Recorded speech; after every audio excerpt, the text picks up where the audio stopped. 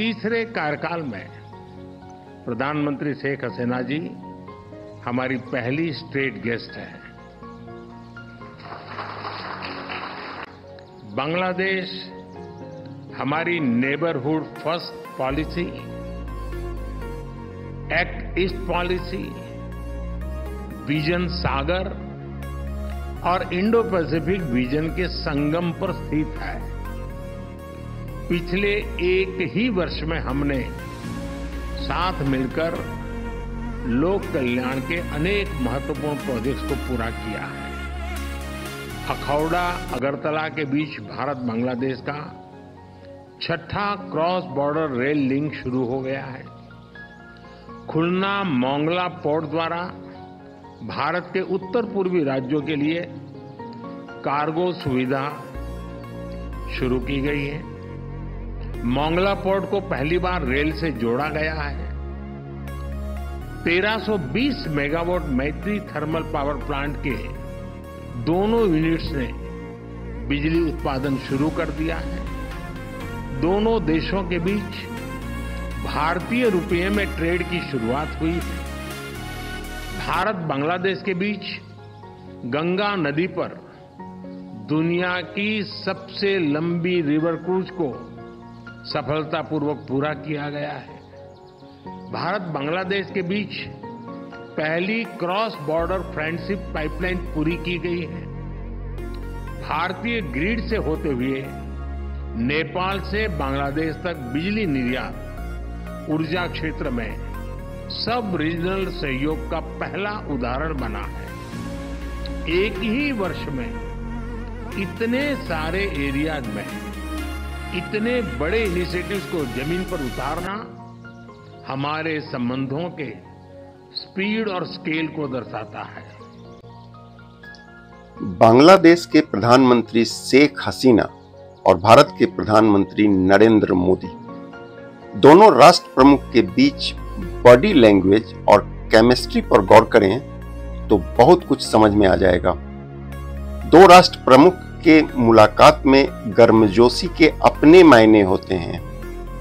एक दौर था जब हमारे रहनुमा पाकिस्तान के साथ इसी तरह के गर्मजोशी से मिलते थे। भारत से दोस्ती के महत्व को पाकिस्तान कभी समझ ही नहीं पाया। खैर, वह दौर अब खत्म हो चुका है। आज़ादी के समय जब देश का बंटवारा हुआ था, तब बांग्लादेश बांग्लादेश नहीं था। बल्कि यह पाकिस्तान का ही हिस्सा हुआ करता था और पूर्वी पाकिस्तान कहलाता था। वर्ष 1971 में पाकिस्तान से टूटकर बांग्लादेश बना। बांग्लादेश हमारा पड़ोसी मुल्क है।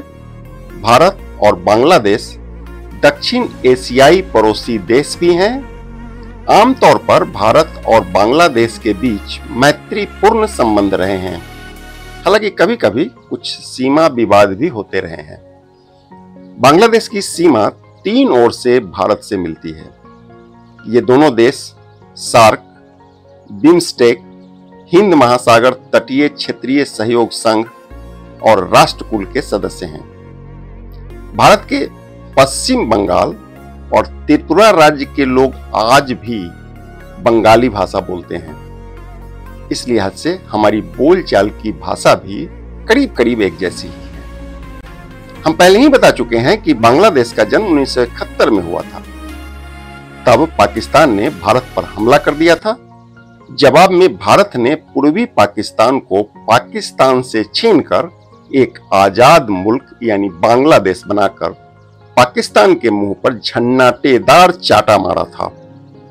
वर्ष उन्नीस सौ इकहत्तर के युद्ध में भारतीय सेना के सामने पाकिस्तान के करीब तिरानवे हज़ार सैनिकों ने आत्मसमर्पण करके पाकिस्तान के मुँह पर कालिख पोत दिया था।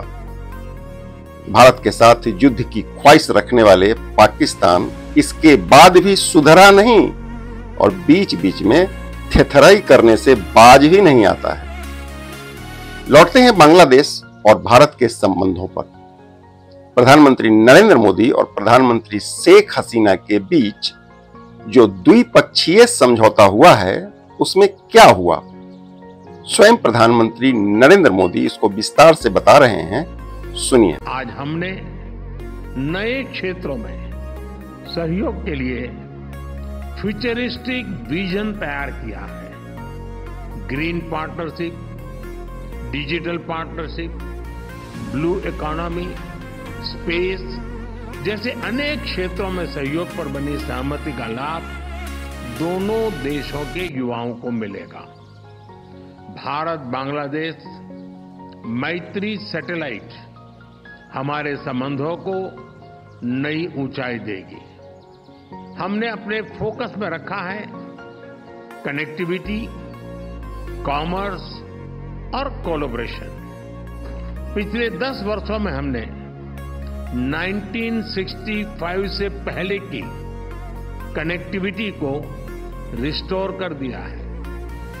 अब हम और अधिक डिजिटल और एनर्जी कनेक्टिविटी पर बल देंगे।